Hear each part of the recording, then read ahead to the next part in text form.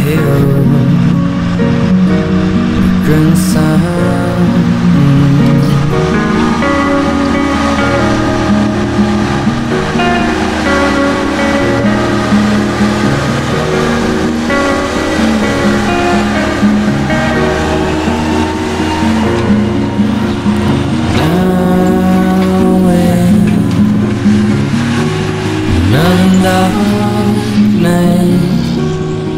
have soon come Dressed in red light.